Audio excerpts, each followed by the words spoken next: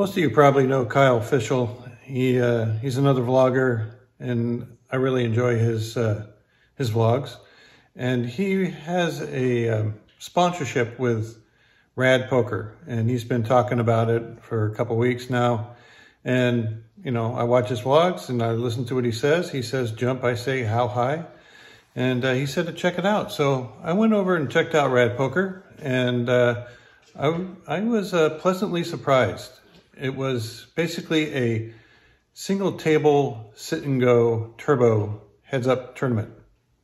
And uh, the winner gets rating points, the loser loses rating points. And it kind of keeps track of how you do. And uh, there's a leaderboard and you go up and down. And it seemed like a lot of fun. Uh, later, I was contacted by Rad Poker and asked if I wanted to uh, to talk about their product. And uh, I normally don't do product endorsements unless I actually believe in the stuff. So I told them I've been on the site and I have played it and I do enjoy it. So here I am talking to you about it. So if you guys haven't checked out Rad Poker yet, uh, please do so. There's a link down in the description. Um, I'm going to be on there every Tuesday night at 7 p.m. Pacific time. And if you guys want to take some of my virtual Dougie Dough uh, by playing me heads up in Rad Poker, just hop on and I'll be there. It's hard to say whether you'll actually get uh, seated with me because there are other players. Tuesday night, 7 p.m. Pacific time, look for magic, take some of my money, some of my rating points, Welcome back to the vlog. I'm going to be playing at Capitol Casino today in our normal 1-3 game. I don't have a lot of time to play, only have like an hour or two, so it's going to be a short session, but still coming to some interesting spots. I played a couple hands, I would say, poorly. Anyway, I also want to say thank you to all those new subscribers that uh, signed up uh, recently. I really appreciate you coming aboard and joining the rest of us. Um, as for my longtime subscribers who have been there since day one, I really appreciate you guys. You guys have gave me the encouragement to continue on. Anyway, sit back, relax, enjoy. Here it comes. We buy into our normal 1-3 game for $500. Sit around for a little while, anteing off. Haven't got much to play until I look down at two tens in the big blind. We get three limpers trying to get a cheap flop. I decide to raise to 20 just looking to either force them to put more money in or give up those weak hands. They all decided to give up the weak hands, so we win a very small pot, but it's the first chips that went our direction today, so we'll take them and uh, move on to the next one. I look at King Queen offsuit in the cutoff. We had two limpers and I raised to 20 and only the two limpers put in the call. So we're headed three ways to a flop with 64 in. And the flop is actually pretty good for my range, but not very good for my particular hand. It comes ace, jack, seven with two clubs. Here's a little tell that I picked up. The uh, person on the top of the screen to the right, the way he checks and then the way he scoots and looks through his cards, shuffling them, usually indicates someone with a draw and not a pair. If someone had an ace or a jack, they would know it. They wouldn't have to do this shuffle to look at their cards. With both limpers checking to me, I decided this would be a good spot to put in the c-bet, and I'm trying to make my c-bets a little bit stronger, so I make it 35. I don't want anyone to stick around with some sort of uh, gut shot or backdoor draws. I want to kind of limit their hand possibilities. I get one caller from the late position limper, and the way he acts and the way he holds his cards and peeks at them makes me believe that he's on a draw. And when the Jack of Spades comes on the turn, I decided this would be a great opportunity to continue. I don't know if it counts as a bluff when you bet with the best hand, but uh, we take this one down. I'm in the big blind with 10-8 suited. There was no raise, so we get to see a free flop six-way action. And the flop is fairly good for our hand. It comes queen, queen, four with two clubs. So we got a flush draw. We check it with five other players, and it checks around rather quickly. Turn card comes as a five of diamonds. I figure this might be a good spot to just take a stab, but I'm greeted with some bad news. I get min raised to 20 from a middle position player. Now this player can be playing a little bit tricky. He also can be bluffing quite often. So I have to proceed carefully. The type of hands I put them on is of course a queen, or maybe pocket fours, pocket fives, or he could have turned some sort of flush draw, maybe a straight draw. The river card comes as a deuce of clubs. I decided to check. If he had a missed draw, he's going to bet. If he has a full house, he's going to bet. So I figure I'd rather just check call than to lead into him. So I check and he bets 40, which is pretty good sizing. It looks like him probably beat, but since all the queens should miss, I'm only really concerned with pocket fours and pocket fives. And he ends up showing queen deuce of hearts. So I caught the only card in the entire deck that would cost me another $40.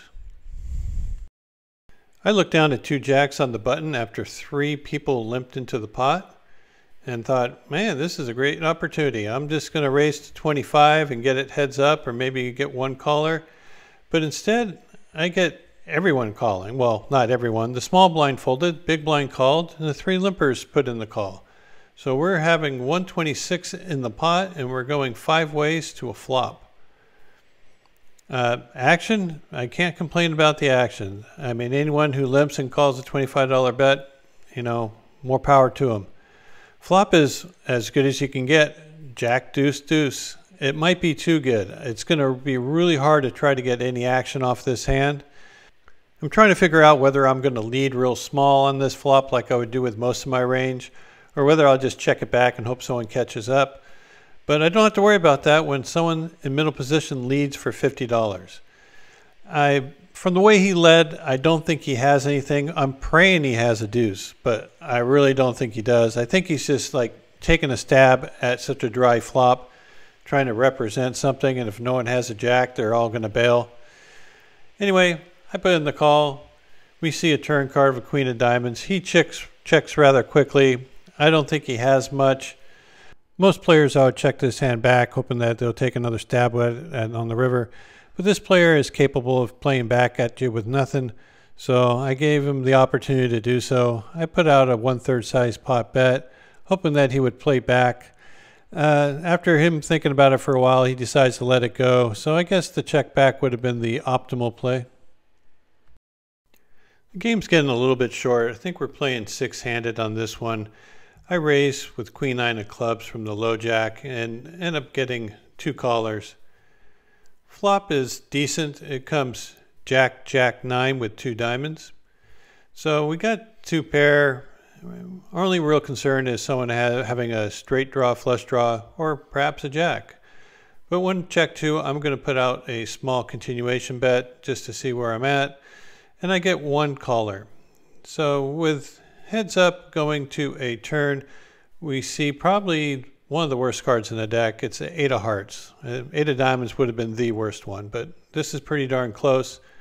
If he had me beat, and he still has me beat, and if he was behind with some sort of straight draw, he might be ahead of me now. So I checked it over to him. He bets 45. Uh, he's an action player. He could be doing this and messing around a little bit. So I decided to give him a little action which I think in hindsight is definitely a mistake. I should just let this one go. But I put the call in, see a river card of a queen.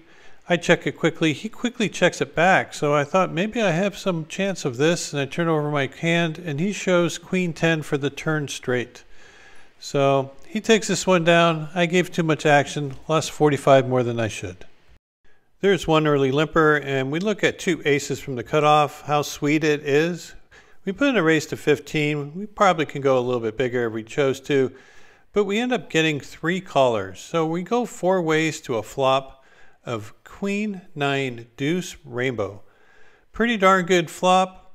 First person checks, next person puts in a very small bet of $15. It seemed like he just wants to name his own price for some sort of draw in my mind. I'm not going to let him get away with that. I raised to 45. I don't want anyone to overcall and get in cheap for $15. The uh, person who originally checked thinks for a while before releasing his hand, and I just get the original better to put in the call. At this point, I'm putting him on some sort of draw or a queen. More likely a draw. Someone with a queen would probably bet a little bit stronger. Someone with jack 10, though, this would be a good time to name your own price with a $15 bet. So I'm going to be real cautious if I see a king or an 8 turn up. Instead, we get a 4 of spades. This does put a backdoor flush draw up on the board, but when he checks me, I'm just going to continue because I think I have the best hand, and I'm going to continue on the larger size. I put in a two-thirds pot bet, $100. This is going to be a little bit painful for someone with a straight draw to call. Someone with a queen probably would fold also. Um, he thinks for just a short amount of time before putting in the call. So I think he might have picked up some additional equity with the four of spades. So he might have some sort of backdoor flush draw.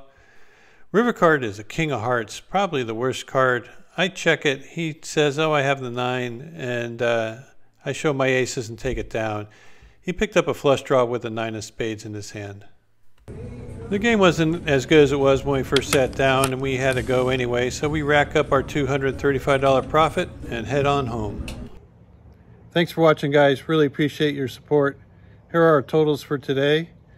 And just a reminder, if you want to play me heads up online, go to Rad Poker, download the app. I will be on there Tuesday night at 7 p.m. Pacific. Hop in there, see if you can get some of my uh, virtual Dougie Dough. Until then, take care, run good at the tables, and we'll see you next time.